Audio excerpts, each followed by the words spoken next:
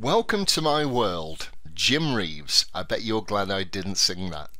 Okay, so I have a different perspective to the people at the sharp end, the ones actually doing the work. And that's because I've been here many times before. Maybe not this particular organization, not with these people, but in this situation, this set of circumstances that are all too common.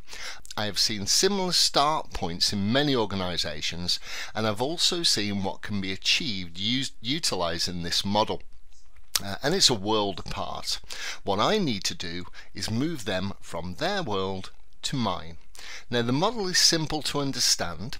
It's based on the belief that people are amazing and the key ingredient to unlocking that amazingness is creativity.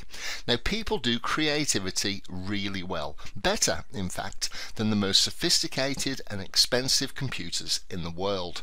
People can join dots, they can see opportunities, they can take one thing, apply it to another and come up with completely new and innovative solutions. They can refine. Each individual is unique and bring their own uniqueness to the party and that's just what we need them to do. Now the first step is to create some space for this creativity. If you have a 37 and a half hour week job and you're working 40 hours, you have no space.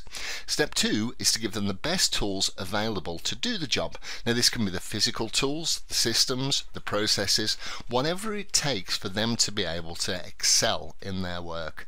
And the final step, talent. Take care of steps one and two, and now it's all down to people. Each of us have the capacity to be creative superstars. Now, for clarity, I use the word creative literally. When someone tells me they are creative, I ask them what they've created. Now, nine times out of ten, they will tell me all about their ideas. Now, ideas are nice, but completely useless unless you do something with them, something that brings them to life in the real world. Ideas without action are just daydreams. It sounds harsh, but it's true. Nothing you can touch in the world is an idea. It may have started out as one, but someone applied their creativity, their talent, and made it real. They created it. And after that, rinse and repeat. Okay, I'll see you in the next lecture.